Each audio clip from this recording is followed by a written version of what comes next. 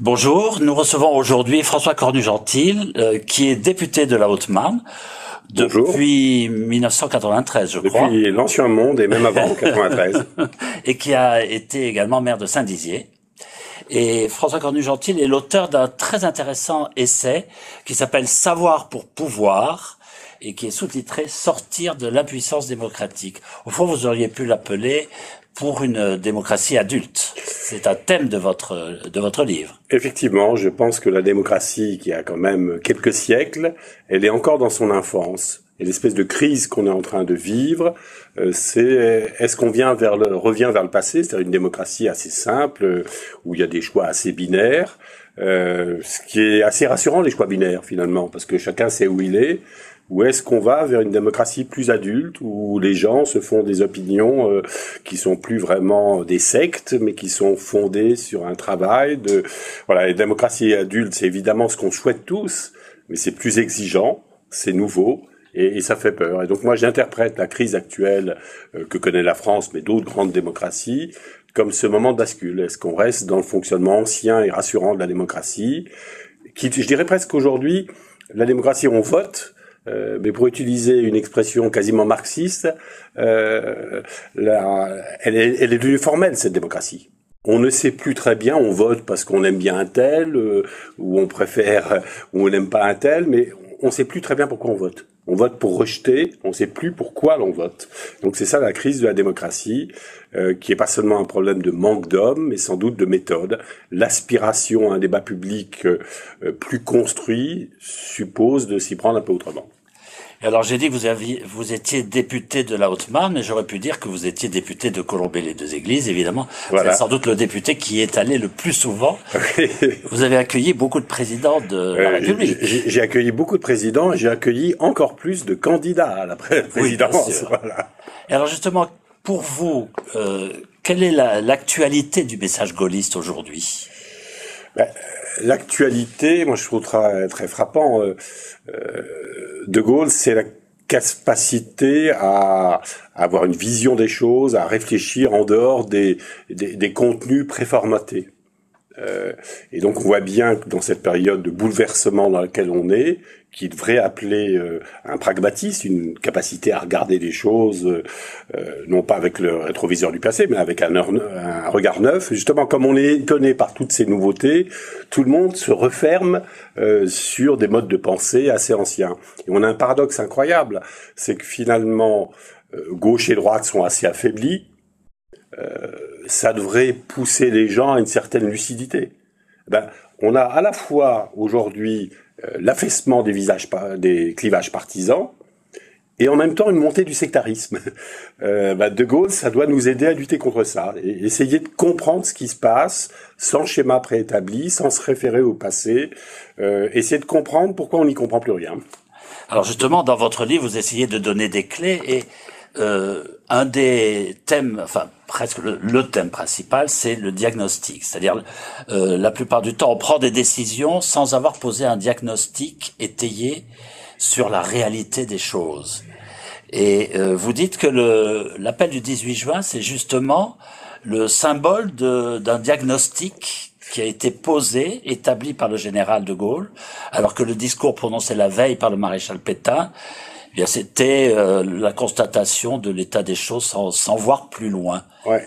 Est-ce que vous pouvez nous expliquer ça? On, on, va partir effectivement du juin 40 dans cette maison, ça paraît assez euh, logique.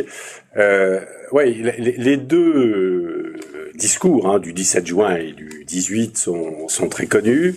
Euh, on, on, a l'impression que c'est simplement deux options. Euh, moi, mon analyse, elle essaye d'aller un petit peu plus loin. Elle essaie de montrer qu'en réalité, euh, Pétain, euh, c'est pas une option. C'est en réalité ce que j'appelle une marque. Hein. Nicolas Hulot est une marque, Marine Le Pen est une marque. Ça, je vous interrogerai sur les euh, marques. Pour Pétain, il n'y a pas d'analyse de la situation. La, marque, euh, et, voilà, sa personne la marque faire un rempart. Voilà, donc il n'y a aucun raisonnement. Voilà, y a, on, on, est perdu. Il y a quelqu'un avec un passé glorieux qui arrive et on, on se tourne vers lui. Et donc, euh, vous voyez, euh, les gens qui sont pro-Pétain ont l'impression d'avoir un diagnostic. Mais en fait, il n'y a pas de euh, diagnostic, c'est une analyse du réel. Y a, quand on se tourne vers Pétain, il n'y a en réalité aucune analyse. on, est perdu, donc il y a une figure euh, tutélaire et on se tourne vers elle. Donc c'est pas un diagnostic, c'est une opinion que Pétain, Pétain peut servir à quelque chose, mais c'est pas un diagnostic qui est réellement étayé euh, par des faits. De Gaulle, il est à la différence du maréchal Pétain qui est connu de tout le monde, il est totalement inconnu. Euh, mais c'est la force de ce qu'il dit, et la force de ce qu'il dit, c'est un diagnostic. On, on, insiste souvent sur le côté effectivement euh, euh, bon on va pas laisser tomber on va résister une certaine idée effectivement. Oui bien sûr. Mais c'est aussi étayé sur les faits. C'est pas simplement il résiste pas seulement parce qu'il se fait une haute idée euh, de la France de sa souveraineté son indépendance.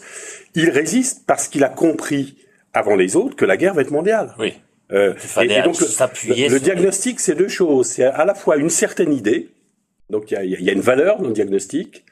Et aussi, euh, voilà, on prend pas ses idées pour des réalités, on regarde la réalité du monde tel qu'il est.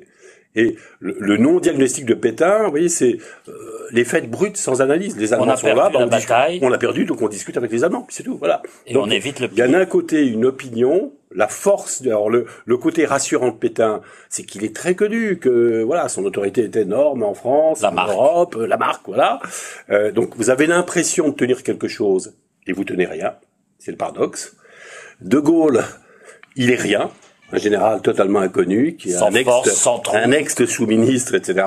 Sauf que, en bâtissant une analyse, une grille de lecture, il ouvre un chemin politique. Et, et la politique, c'est pas simplement faire des propositions, c'est proposer aux gens une façon de regarder le monde et une façon d'agir une fois qu'on a regardé le monde. Et, et voilà, c'est ça un diagnostic. Pour revenir à la situation d'aujourd'hui, qui peut être très éloignée, on a, on est confronté à quantité de nouveaux problèmes L'immigration est en éteint, en éteint, le terrorisme, la mondialisation, la, mondialisation, la transition énergétique. Et aujourd'hui, la, la pandémie. Et, sur tous ces sujets, je dirais, on a des marques, on n'a pas de diagnostic. Euh, Hulot, c'est une marque qui nous dit, bah, faut faire la transition énergétique. Euh, comme Pétain, voilà. Donc, donc ah bon, c'est quelle chance on a, on a Hulot qui, mais en réalité, euh, la transition énergétique n'est pas euh, la solution que nous propose Hulot la transition énergétique, c'est le problème qu'on a à résoudre. C'est-à-dire que, et on voit très bien chez ceux qui sont partisans de la transition énergétique, qui pensent que c'est la solution, euh, ils sont vraiment dans l'IACA euh, faucon, euh, alors qu'on est tous contradictoires. On veut tous un modèle plus simple, et on est tous hyper consommateurs. Comme Nicolas Hulot qui allait filmer les oiseaux au pôle, etc., mais il se déplaçait en hélicoptère. Voilà, on est tous des Nicolas Hulot totalement contradictoires. Comment on sort le diagnostic? C'est comment prendre en compte ces réalités contradictoires et les transformer en, une politique. Donc je donne l'exemple de la transition énergétique, mais sur euh, les autres sujets que j'ai évoqués tout à l'heure, l'immigration, euh, euh, les nouvelles insécurités, on, on, a des réflexes conditionnés. On dit il faut mettre plus d'argent, il faut faire ci, il faut faire cela. On n'a en réalité aucune analyse des faits nouveaux qui nous submergent et de stratégie. Alors le diagnostic, je voudrais dire, c'est pas euh, je, ne préconise pas du tout un gouvernement d'experts. Hein. C'est pas euh, ce qu'on a vu avec la pandémie, tous les médecins qui vont nous faire un diagnostic, parce que le diagnostic technique, il, impose une seule solution. Le diagnostic politique, au sens où je l'exprime, qui il prend en compte les réalités. Les réalités. et ça veut dire qu'à partir d'un diagnostic, on peut avoir non pas une solution, euh, mais, mais, des tas de solutions divergentes qui, qui, qui permettent d'avoir un débat politique euh, digne de ce nom.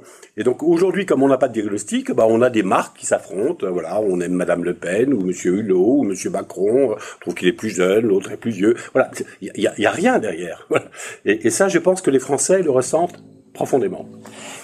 Et alors justement, euh, quand Emmanuel Macron a été élu, euh, quelques années, enfin un an après, vous avez été chargé, enfin vous avez eu l'idée de d'élaborer un, un, rapport, une mission et un rapport sur euh, l'État, l'action de l'État en Seine-Saint-Denis. Est-ce que vous pouvez nous dire comment ça s'est passé? Voilà. Ce qui vous inspirait dans cette.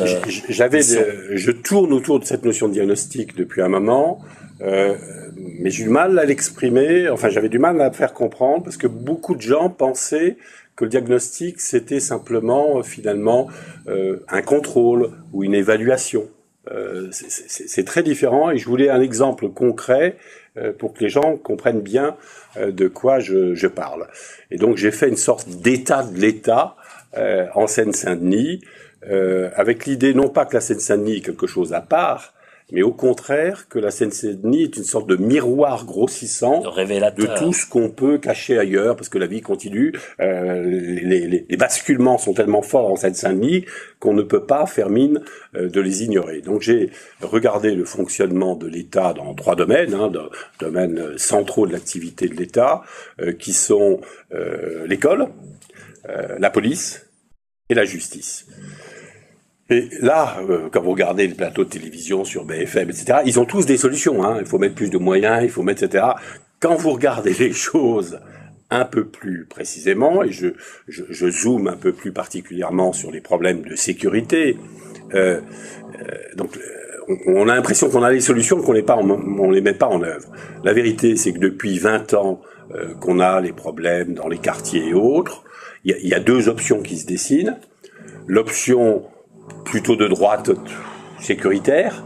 Euh, l'option Sarkozy pour faire euh, pour faire court. Bon bah il y a des dealers, euh, on va envoyer des compagnies de CRS. le Karcher. Moi, voilà, oui, le Karcher.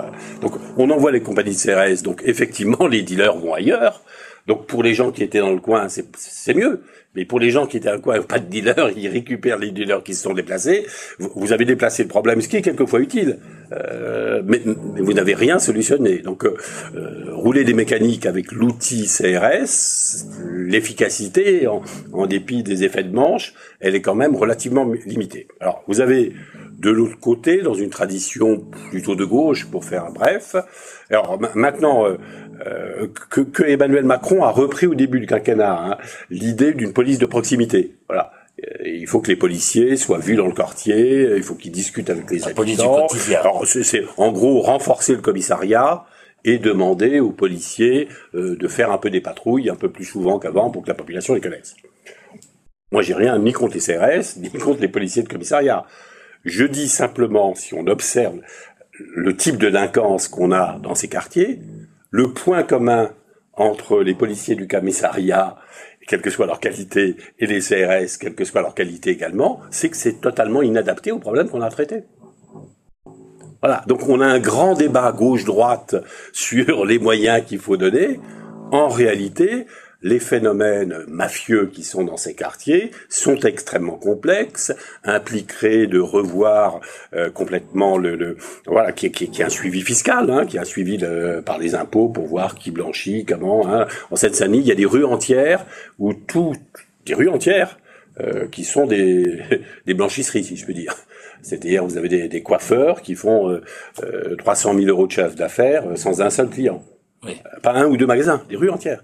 Ah, donc vous voyez bien que c'est pas les CRS, c'est au vu au sud de tout le monde. voilà exactement. Donc on n'a pas les outils. Ça, ça suppose d'avoir des outils fiscaux. Ça suppose après l'argent est tel, euh, les masses d'argent sont telles euh, qu'aujourd'hui, elle, en fait, tout, tout, le quartier vit de ça. En réalité, y compris les gens qui sont pas dans le trafic en profitent indirectement. comment on gère ça? Quelle politique familiale? Comment on approche les familles? Vous voyez, euh, y compris les politiques. Voilà donc. Donc ce que j'essaie de montrer, c'est qu'on n'a pas, n'ayant pas de diagnostic, on n'est pas loin, on, est même très loin plutôt, de trouver les outils capables d'améliorer un peu et de gérer le problème. Donc euh, voilà, j'ai donné un exemple de diagnostic.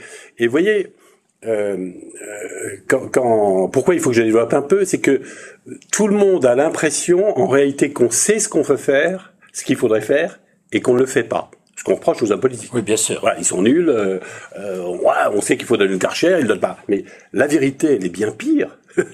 c'est qu'on n'a aucune idée de ce qu'il faut faire.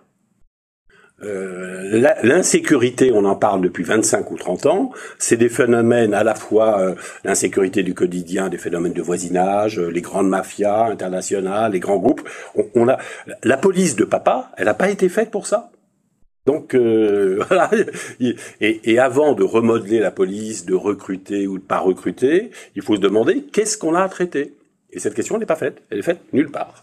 Euh, donc le diagnostic, il est absolument indispensable. Et, et, ce que je vous dis là de la sécurité, on peut le dire de l'immigration, on peut le dire de la transition énergétique. On n'a aucune idée. La vérité, c'est qu'on n'a aucune idée. Et, et que même si les hommes politiques avaient la volonté, ils l'ont les gens peuvent aimer plus ou moins le président Macron, euh, ils ont pu aimer plus ou moins le président Sarkozy, mais ce dont on peut être sûr en réalité, c'est que euh, ces types-là ont une volonté phénoménale. Euh, ce qui les a amenés, ils sont pas arrivés là par hasard. Donc ils, ont une énergie très forte. S'ils y arrivent pas, ben, c'est pas qu'ils ont, pas qu'ils ont la trouille, c'est qu'ils ont pas les outils. Vous voyez cette conclusion très simple que je fais, elle n'est pas faite par grand monde en réalité, parce que tout le monde, vous voyez, comme Pétain, on prend notre opinion. Euh, ah ben il faudrait plus d'argent, il faudrait plus de CRS. On prend notre opinion pour un diagnostic. Oui, tous les gens qui n'ont pas de diagnostic sont persuadés d'en avoir un. Ils prennent leur opinion pour un diagnostic. Euh, une fois qu'on a compris que ce ne sont que des opinions, euh, ben, il y a du boulot. je, je, pense que sur tous les sujets, en réalité, aussi bien les sujets classiques, insécurité, crise de l'école, crise de la justice, que les nouveaux sujets, immigration, transition énergétique, euh, économie mondiale, nouvelle économie, sur tous ces sujets-là, on n'a pas l'ombre d'un diagnostic, on agit avec euh, des, des, des, réflexes mentaux issus du monde ancien et avec des outils inadaptés. Et donc la crise politique, euh, contrairement à ce que dit c'est pas simplement la lâcheté des hommes politiques, c'est en réalité que les hommes politiques ne savent pas comment faire et évidemment n'osent pas le dire. Euh, on voit pas un président de la République qui ou un ou un ministre de voilà Monsieur Darmanin. Euh, on, on le voit pas dire. Écoutez, moi j'aimerais bien lutter contre la sécurité, mais j'ai pas l'outil. Donc, euh, qui peut faire ce diagnostic qui n'est pas fait euh, C'est tout le sujet de mon livre. Donc là, vous proposez une, une réforme institutionnelle Alors, importante, qui serait la, la création d'une d'une chambre nouvelle que vous appelez le Conseil de la République. Il y a un petit côté provocateur quand même dans ce nom, parce que c'était le nom que euh, portait le Sénat sous la quatrième République que combattait le général de Gaulle. Donc, ce Conseil de la République serait chargé d'établir un diagnostic. Comment fonctionnerait-il? Le, mon approche institutionnelle est très gaulliste en réalité, parce que vous avez euh, dans le débat institutionnel actuellement, euh, soit des gens qui considèrent, qui voilà, tout le monde voit bien que ça ça fonctionne plus, mais tout le monde pense que c'est un problème d'équilibre des pouvoirs. Euh, donc vous voyez bien que la version euh, euh, Macron ou Sarkozy, par exemple, c'est dire parce que le président n'est pas suffisamment fort. Finalement, il faut revenir à un esprit d'un président jupitérien, pas par fascisme, mais simplement pour qu'on voit bien qu'il y a un affaissement de l'autorité et qu'il faut essayer de donner une impulsion. Et donc il faut que les, les débats à l'Assemblée soient plus rapides pour que cette impulsion puisse être forte, etc. Donc il y a, y a beaucoup de gens qui déduisent des difficultés actuelles que c'est le manque finalement qu'il faudrait encore renforcer euh, la, puissance de l'exécutif et que c'est ça qui nous paralyse. À l'opposé, euh, vous avez euh, ceux qui sont favorables finalement au, scrutin proportionnel et qui se disent mais finalement ce type qui décide tout seul, ça déstabilise tout. Euh, ça serait beaucoup mieux si c'était des compromis, pas aux chances compromission dans leur esprit, hein, en, discutant, en parvenant à des équilibres, on arriverait à, quelque chose de partagé et, et de beaucoup mieux. Donc tout le monde se dispute pour savoir où est-ce qu'on met le curseur. Euh, moi, mon analyse est de dire c'est pas ça le sujet. C'est-à-dire le, le la, la cinquième République a été faite pour qu'il y ait une majorité et une opposition, que ça décide. Euh, c'est pas en cause. Euh, les gens qui cherchent à renforcer le chef ou à renforcer le peuple se trompent. Le problème, c'est pas la machine à décider, et donc il faut conserver la cinquième République. Le problème, c'est qu'on ne sait pas ce qu'on décide. On décide dans le vide. Donc c'est la préparation de la décision qui, qui, fait problème. Euh, la Cinquième République, elle sait toujours faire des choix, et heureusement, il ne faut pas que le pays soit paralysé, il faut qu'on ait un, un, gouvernement qui puisse gouverner. Donc en ce sens-là, la Cinquième République, elle me paraît complètement d'actualité. Si en plus des pas une sixième République. Voilà, si en plus des difficultés qu'on a aujourd'hui, on avait des gouvernements euh, qui cafouillent, qui hésitent, qui n'ont pas de majorité, euh, ça serait encore pire qu'aujourd'hui. Donc le, le, le problème n'est pas celui de l'équilibre des pouvoirs. C'est là que je m'oppose à tous les constitutionnalistes qui pensent que c'est un problème d'équilibre des pouvoirs. Je pense que le problème est différent, c'est qu'on décide, mais qu'on ne sait pas ce qu'on décide. C'est-à-dire, on décide sans avoir préparé la décision, sans avoir regardé le monde tel qu'il est, donc sans avoir mûri des solutions qui tiennent la route et qui soient euh, compréhensibles par les gens. D'où je garde la mécanique de choix de la Ve République, je n'y touche pas. L'exécutif, voilà, le législatif, l'Assemblée nationale, le Sénat. Voilà, alors, le Sénat, je dirais un mot là-dessus. voilà. mais, mais le, mécanisme, le mécanisme de choix reste le même et totalement euh, gaulliste et Ve République. En revanche, je crée, c'est ça l'originalité, une nouvelle chambre élue au suffrage universel, chargée d'établir le diagnostic. J'ai dit tout à l'heure euh, ce que pouvait être un diagnostic, euh, par exemple, sur les nouvelles insécurités, qui nous amènerait à trouver des nouveaux outils d'action. beaucoup de gens me disent, mais dans le fond, euh, alors, je supprime le Conseil économique et social. J'en suis désolé pour euh, tous les gens très sympathiques qui Ils siègent sont en train d'être et, qui, en ce moment. Oui, voilà, et qui sont voilà, qui nous expliquent qu'ils n'ont pas assez de moyens. Mais voilà, si le Conseil économique et social avait produit quelque chose en 70 ans, euh, ça se saurait. Et moi, je, je, voilà, quand on leur demande à quoi ils servent, alors il y a des grands discours, mais ils sont tellement longs que vous comprenez pas où ils, voilà, l'efficacité du système euh, me paraît pas complètement évidente. Donc, on supprime. Pour, oui, c'est pas une assemblée en plus. Hein, on supprime le Conseil économique et social qui ne sert à rien, et on crée cette assemblée du diagnostic où il y a à nouveau des élus au suffrage universel. Euh, c'est pas l'administration qui peut faire le diagnostic. Vous voyez, c'est pas euh, l'inspection des finances ou l'inspection de la police qui va dire, eux, ils, ils ont pas le recul nécessaire. La Cour des comptes. Ils ont la compétence, et c'est pas la Cour des comptes non plus.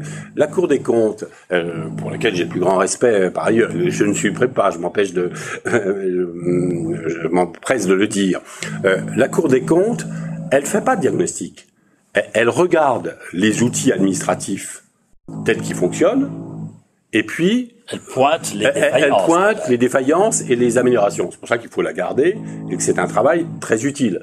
Euh, par exemple, si elle travaillait sur les questions d'insécurité, elle verrait bien que quelquefois au sein de la police et encore plus entre la police et la gendarmerie, il y a sans doute des doublons, euh, donc des, des voilà, des mutualisations à faire pour que ça fonctionne mieux. Donc finalement, la Cour des comptes rationalise les outils qu'on a à disposition ce qui est un travail indispensable, mais ce qui répond pas aux, nouvelles insécurités, au nouveau monde. Euh, vous voyez, le, je reprends l'exemple de la sécurité pour rester sur un domaine. Euh, on peut rationaliser, enfin améliorer les choses dans les commissariats, euh, rendre peut-être plus mobiles les CRS pour aller dans les dans les cités voilà, ça sera un peu moins inefficace que la situation actuelle, mais c'est pas la hauteur de la, et de, la nouveauté des nouvelles insécurités. Donc eux peuvent pas faire le diagnostic. Ils sont là aussi trop proches. Ils n'ont pas le pouvoir politique. Ils peuvent pas parler au nom du peuple. Ils peuvent dire voilà, euh, on dépense mal avec des doublons, on va réduire ça. Et donc il y a besoin. Et c'est pas les think tanks qui vont faire le diagnostic. Le think tank, faut toujours regarder qui finance derrière, et vous avez un peu idée des propositions euh, qui viennent par la suite. Donc le diagnostic, il doit être fait au nom du peuple. Ça doit être des gens qu'on est. Et le paradoxe, c'est que vous me direz, mais dans le fond, vous doublonnez l'Assemblée nationale.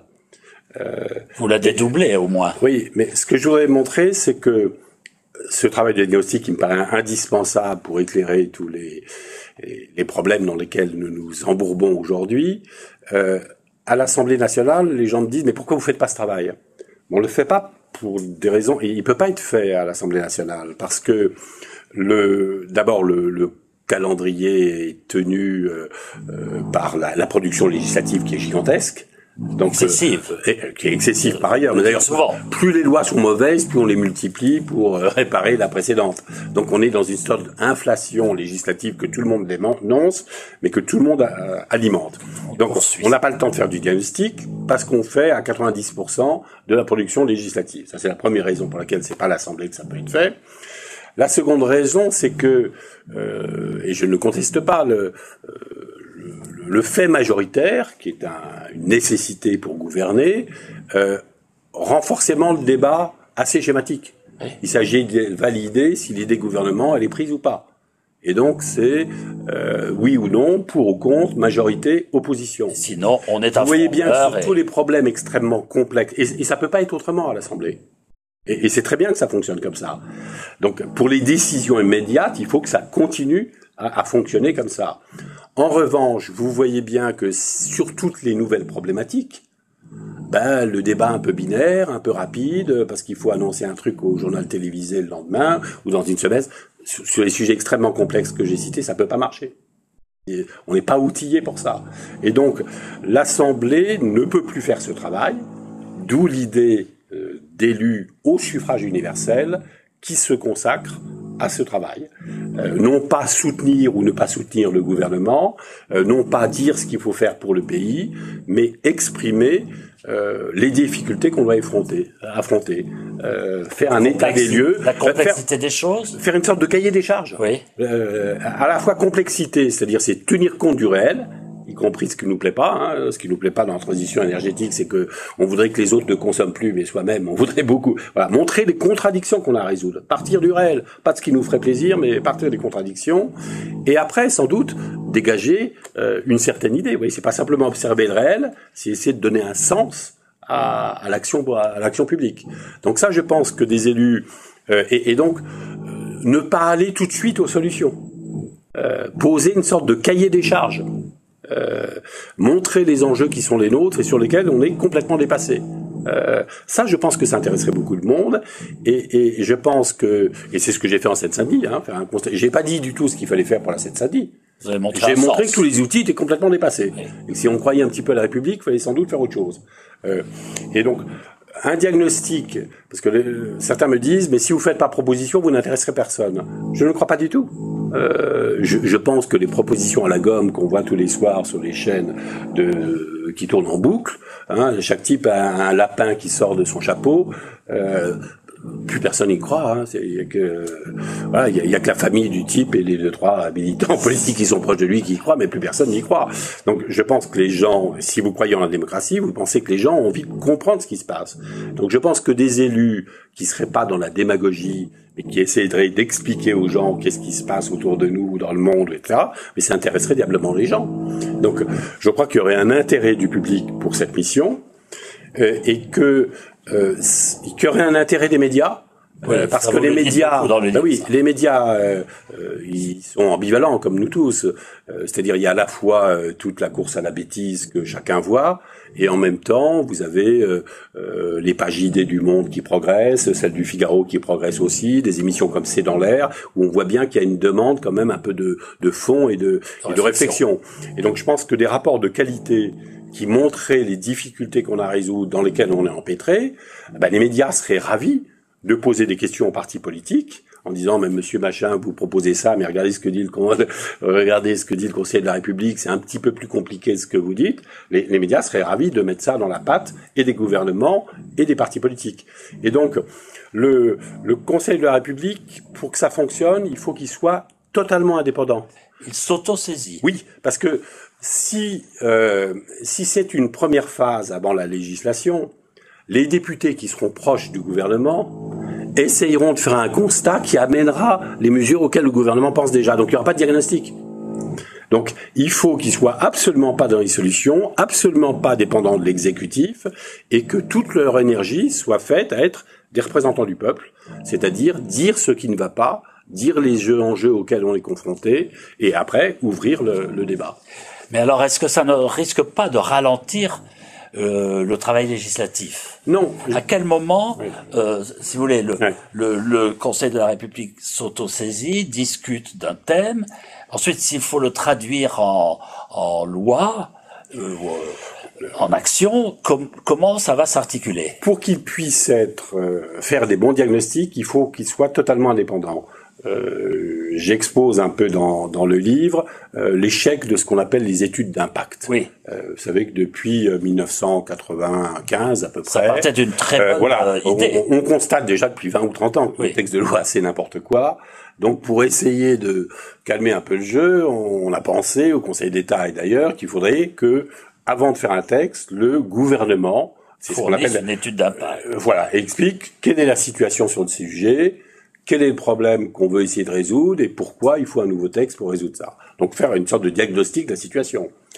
On s'aperçoit, alors on, depuis 25 ans que ça existe, que ça n'a amélioré en rien les choses. Sur le papier, quand vous lisez, c'est formidable. Vous dites, ah bah, c'est vraiment intéressant. En pratique, on est aussi nul qu'avant et peut-être même pire. Pourquoi? Mais pour la raison que j'indiquais tout à l'heure. Le gouvernement, sous la pression de l'actualité, euh, il veut légiférer très vite. Oui. Et donc, lui imposer une étude d'impact euh, où éventuellement il verra que c'est un peu plus compliqué que ce qu'il dit et qu'il y a peut-être d'autres choses qu'il faut prendre. Il n'a aucune envie, le gouvernement du D'ailleurs, souvent, il passe par jamais... une proposition de loi pour contourner le... exactement. Donc, jamais un gouvernement ne fera une étude d'impact correcte. et jamais des députés de la majorité n'aideront un gouvernement à faire une étude d'impact correcte, parce que leur objectif, c'est de vendre, c'est de montrer que le nouveau texte de loi va être formidable. Donc voilà, d'où l'idée qu'il euh, ne faut pas du tout introduire dans le processus législatif l'idée que je donne, parce que si vous l'introduisez dans le processus législatif, vous, verrez le jeu partisan bloquer euh, finalement le, le, diagnostic. Et donc, c'est pour ça que euh, l'Assemblée que j'imagine, elle doit être totalement indépendante de l'exécutif. Euh, elle veut travailler demain sur l'éducation nationale, c'est son président, et à la limite, elle peut être saisie par les Français, vous voyez, mais pas par l'exécutif. Donc c'est eux qui se fixent leur ordre du jour, qui prennent les sujets qu'ils veulent, immigration, sécurité, etc. Mon pari, c'est que ce qui fait bouger les choses, c'est pas de les introduire dans le processus législatif, c'est de modifier le débat public. Ces, ces débats auront par eux-mêmes un gros impact, et donc les partis politiques et euh, l'exécutif qui voudra légiférer, quand il légiférera sur le sujet, euh, ne pourra pas partir de rien, sera bien obligé de répondre au diagnostic euh, qui a été fait. Et, et ça, paradoxalement, ça ne fonctionne que si c'est déconnecté de l'exécutif. Mais si euh, précisément l'exécutif le, et le législatif veulent euh, faire une loi sur un sujet dont le Conseil de la République ne s'est pas saisi, comment ça se passe? Il n'aura pas de diagnostic. On, ne va pas les embouteiller, il n'y aura pas de diagnostic. Non, mais quand petit à petit, les gens se saisiront de tous les, les grands sujets. Et, et, après, euh, je pense que ça amènera, et dans le débat public, et donc dans le débat à l'Assemblée ensuite, une exigence de niveau, de, de compétences qui, il n'est pas aujourd'hui réuni. Voilà. Donc je pense que c'est cette manière indirecte de changer le débat public. Vous voyez, le, pour revenir au problème institutionnel, le déséquilibre actuel, c'est pas un problème d'équilibre des pouvoirs, c'est un problème de vide du contenu politique. Euh, et ce que j'essaie de montrer, le désintérêt de la politique, euh, c'est pas un manque de proximité. Hein. On n'a jamais eu des élus aussi proches des gens. Ils ressemblent absolument à tout le monde. Euh, donc, on leur demande pas de ressembler ou de pas ressembler aux gens, les, les élus. On leur demande d'exprimer les préoccupations des gens. Exprimer les préoccupations des gens, c'est ce que ne fait plus l'Assemblée nationale et c'est ce que doit pouvoir faire euh, cette euh, nouvelle nouvelle assemblée. Donc là, là, vous voyez, c'est une mécanique institutionnelle très différente. Le, le vide politique, je pense qu'il est parfaitement ressenti par les, les Français. je crois qu'il y a un double déni de réalité que cette assemblée sera chargée de, de dissiper. Premier déni de réalité. Oui, je renvoie dos à dos les partis sérieux et les partis populistes. Hein. Le grand clivage aujourd'hui, c'est vous avez d'un côté euh, euh, voilà les, populistes et de l'autre côté euh, des gens un peu ternes mais sérieux. Je pense qu'ils sont tous autant à, côté de la plaque les uns que les autres. Les populistes, parce qu'ils font pas, ils, voient bien dans un domaine que ça va pas, mais ils, ils, ils ne prennent pas le temps du diagnostic et donc leurs propositions sont magiques. Euh, on peut dire cela euh, autant de Nicolas Hulot que de Marine Le Pen euh, que de Mélenchon sur le capitalisme mondial qui est assurément débridé. Voilà, donc ils, voient dans un domaine que ça va pas bien, mais ils, prennent leurs fausses solutions pour des, des choses un peu sérieuses parce qu'ils prennent pas le temps d'observer la réelle. Et donc ça, y compris les gens qui votent pour eux, ils votent plus pour rejet, pour attirer l'attention, que par vraie adhésion. Y compris les gens qui suivent euh, ces, ces, personnages que j'appelle un peu populistes, euh, et, et voient bien qu'il y a un truc qui manque. Donc, eux, on voit bien la nature de leur déni. Les partis de gouvernement, donc les partis qui, en face de cela, devraient être sérieux, ne font pas le diagnostic pour les raisons, pas plus le diagnostic, pour les raisons que j'ai indiquées tout à l'heure. Un ministre de l'Intérieur ne peut pas avouer devant les Français qui seraient ébahis pour le coup euh, qu'il aimerait bien faire des choses, mais qu'il n'a pas, les outils qui conviennent. Et donc, ils sont un, ministre de l'Éducation nationale, euh, tous les ministres de l'Éducation nationale de droite, de gauche et maintenant euh, macroniens qui sont succédés vous expliquent qu'on on progresse alors que tous les classements mondiaux montrent qu'on régresse et que les instruments sont pas adaptés. Donc le, constat ne, ne, ne, peut, ne peut pas être fait par les partis de gouvernement D'où l'idée de le faire à l'extérieur. Oui, le, et, et, je pense que les, Français, hein, le désintérêt de la, la, la politique, c'est pas du tout euh, euh, ce qu'on dit. Oh, c'est loin. Euh, c'est tout simplement que les gens voient bien qu'on ne parle pas des sujets réels qu'ils qu'ils n'ont pas analysés, mais qu'ils pressentent très bien. Et donc, ni les partis populistes, ni les partis sérieux ne font ce travail de diagnostic dont on a besoin pour un débat public éclairé. Alors, euh, beaucoup de gens, évidemment, vont dire encore une assemblée, encore des élus, encore, on rajoute un élément au fameux millefeuille administratif et politique. Donc là, euh, vous avez une réponse à ça? Oui, j'ai plusieurs réponses. La première que j'ai esquissée tout à l'heure, c'est pas quatre assemblées. D'abord, on supprime une assemblée qui ne sert à rien pour en mettre. Et, et, après, on l'a fait pas parce que je me cherche euh, un fauteuil pour la retraite. On l'a fait cette assemblée parce que j'essaie de montrer qu'il y a en fait une fonction dans la démocratie qui est une fonction de... Il n'y a pas de démocratie sur un diagnostic, qui a une fonction euh, qui doit exister pour que la démocratie fonctionne, que cette fonction n'existe pas et qu'il faut lui donner un lieu. Donc c'est pas une lubie. Euh, J'observe le euh, dysfonctionnement du débat démocratique. Euh, alors pourquoi ça marchait avant? Parce que finalement, euh, gauche et droite ça a aidé tout le monde à avoir un diagnostic vite fait, bien fait. C'était pas toujours dans les détails, mais ça permettait d'avoir une vision du monde et une approche sur tel ou tel sujet. Et, et, donc c'est pour ça qu'on n'avait pas besoin de produire un diagnostic en tant que tel. C'était dans l'air, c'était partagé, ce gauche et droite, et donc ça permettait à peu près à chacun de s'y retrouver, de, de voir l'écart entre ce qui est souhaitable et ce qu'on voulait construire politiquement. Et donc ça, et on voit bien malheureusement qu'aujourd'hui, euh, sur tous les sujets que j'ai indiqués, gauche et droite ne sont pas suffisants comme repères. Donc sur chaque sujet, c'est là aussi que c'est gaulliste, hein, vous voyez, on, colle à la réalité. Euh, sur chaque sujet, il faut essayer de bâtir les, les, les, repères pertinents pour essayer de comprendre ce qui se passe. Voilà, donc je, euh, je ne crée pas des nouveaux élus pour le plaisir d'en créer, j'en supprime un certain nombre et j'en recrée parce qu'il y a une fonction essentielle à la démocratie qui aujourd'hui s'effondre sous nos, sous nos yeux et vous transformez le Sénat en une chambre des, des territoires, vraiment. Oui, alors parce que dans au terme, et là aussi je pense être dans l'esprit complètement de la Constitution, euh, le le Sénat est selon la Constitution euh, l'assemblée des, des, des, des, représentants des, collectivités territoriales. Avec le non-cumul, c'est plus vrai du tout. Oui, bien sûr. donc on dit qu'il représente les territoires, c'est pas vrai.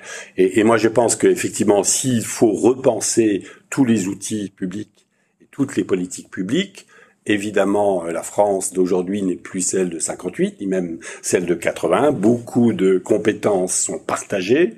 Euh, euh, il y a donc à associer étroitement ceux qui mettent en place les compétences les locales avec le niveau national. Donc il y a, à articuler véritablement les décisions nationales et des décisions locales. Le non-cumul actuel amène une crise supplémentaire à la crise que nous vivons. Euh, il n'y a pas de dialogue entre le niveau national et entre le niveau local, et donc tous les élus locaux un peu puissants vont devenir assez rapidement des féodaux et qui expliqueront que ça va pas à cause de, de Paris et de la nation. Hein. C'est ça qu'on a mis en place avec le non-cumul. Il faut donc que les compétences locales soient utilisées pour redéfinir les pouvoirs locaux et nationaux. C'est pour ça que je transforme le Sénat en assemblée des territoires, où siégeront escalité tous les présidents de région et tous les présidents de département. Voilà, vous êtes élu devant président de département ou de région. Vous n'avez pas besoin d'être élu dans mon nouveau Sénat. Vous y siégez. Escalité. Et les territoires, c'est aussi les communautés de, de communes, hein, l'intercommunalité, je pense qu'il faudrait faire euh, une centaine ou 150 élus représentant les intercommunalités euh, de, de, différents niveaux. Et donc, vous voyez, on aurait maintenant trois assemblées pour redéfinir l'action publique, pour traiter les problèmes d'aujourd'hui. On aurait trois assemblées véritablement complémentaires. l'Assemblée nationale, l'Assemblée nationale qui est un outil d'exécutif qui permet de choisir, de trancher, etc le Conseil des territoires qui, lui, euh, articule le national et le local, ce qui est indispensable, et enfin euh, mon Conseil de la République euh, qui élève le débat à, parce que les, les, les sujets d'aujourd'hui ne, ne, peuvent pas s'accommoder du, du simpliste. Donc ouais, chaque institut et voyez aujourd'hui comment vous êtes bien en mal euh, de dire à quoi sert chaque institution aujourd'hui. Dans le schéma que j'ai, chaque assemblée est véritablement utile. Euh, aujourd'hui, est-ce qu'on peut dire à quoi sert le Conseil économique et social? Est-ce qu'on peut dire, on voit que le, on voit que le, le, Sénat ralentit un peu l'Assemblée, mais est-ce que c'est vraiment utile? Vous voyez, les fonctions des uns et des autres c'est plus l'habitude et l'usage qui font qu'on a l'impression que ça sert à quelque chose.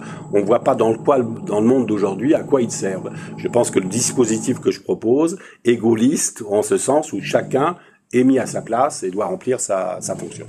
Et alors là, comment, comment allez-vous faire pour euh, euh, faire adopter cette réforme? Parce que les sénateurs ne la voudront pas. Ah oui, mais euh, sur cet aspect-là des choses, ben, j'espère que je, je, pourrais, oui, je, je, vais me brouiller avec euh, certains sénateurs et j'en suis absolument euh, désolé. Euh, en revanche, je, je, pense que les présidents de conseils départementaux et les présidents de région et un certain nombre de représentants des intercommunalités seront assez demandeurs de la proposition que je fais. C'est un système à l'allemande, ça, plutôt. C'est un système peu à l'allemande, mais c'est pas fait pour copier, c'est simplement parce qu'il faut bien articuler national et local. Oui. Donc, euh, est-ce que ce, cette réforme institutionnelle, qui est quand même très importante, est-ce que vous souhaiteriez qu'elle soit un des thèmes de la campagne présidentielle qui va s'ouvrir? Écoutez, moi, je, euh, j'espère je, que mes idées vont rentrer un peu dans le débat. Euh, je, un, un, des motifs de mobilisation pour moi, c'est de bien faire comprendre ce par quoi j'ai commencé au début, c'est-à-dire c'est, c'est pas un problème d'équilibre des pouvoirs ils sont tous là-dessus. Euh, donc c'est ce qui donne un sens à mon combat. où je suis complètement à côté de la plaque et, c'est eux qui ont raison. Dans ce cas-là, voilà.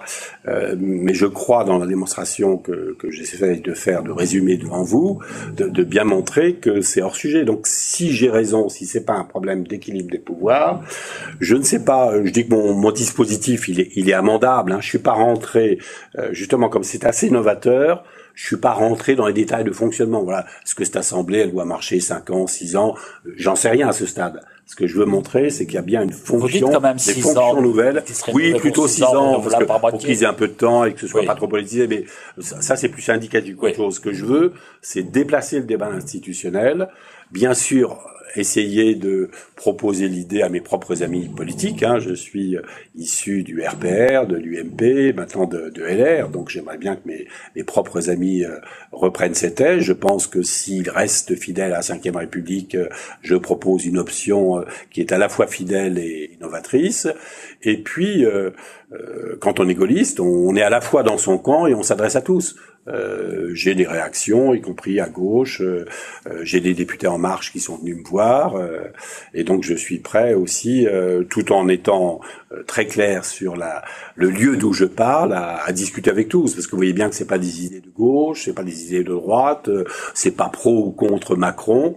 Euh, c'est essayer d'instaurer une règle du jeu un peu différente euh, en partant du fait que si on continue comme on continue actuellement, euh, je pense qu'on s'expose à de graves déconvenus.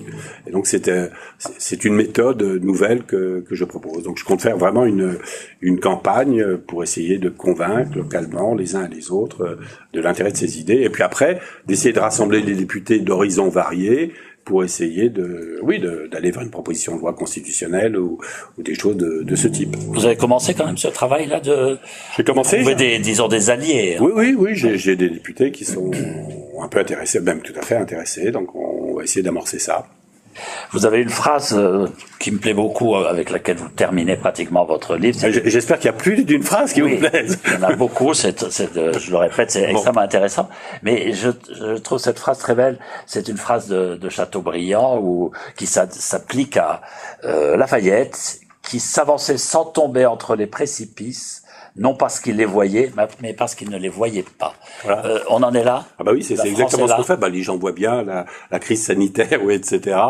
Ils voient bien qu'on décide de, des choses très graves de façon tout à fait irrationnelle et sous l'impulsion, et que la catastrophe n'est pas là, non pas parce qu'on est bien dirigé, mais parce qu'on a eu de la, la chance. La démocratie adulte, c'est regarder en face les risques, les gouffres, et essayer de, de ne pas tomber, euh, non pas par hasard, mais parce que on aura discerné un chemin, une stratégie permettant de ne pas tomber.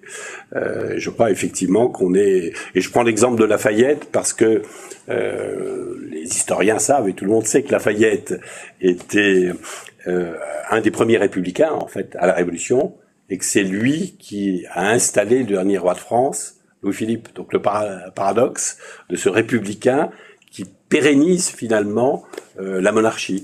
Et donc euh, on voit bien que notre République, elle, elle, veut être là, elle veut associer le peuple, et, qu'aujourd'hui, si le peuple ne comprend plus rien, ce qui est le cas, parce qu'on lui donne pas les moyens de comprendre, la République est pas fidèle à, sa mission. Hein. Le, une autre façon de dire tout ce que je dis, c'est que le, les choix aujourd'hui ne sont pas euh, ne sont pas intelligents, ne sont pas compréhensibles, et que ce Conseil de la République, il, il remet de la démocratie parce que la démocratie c'est pas choisir parce que voilà on est bien inspiré celui-là me ressemble c'est choisir en conscience c'est choisir à partir d'un raisonnement. D'accord. Merci beaucoup en tout cas. Euh, donc je répète savoir pour pourvoir sortir de l'impuissance démocratique c'est un très intéressant essai de François Cornu-Gentil. Merci beaucoup. Merci à vous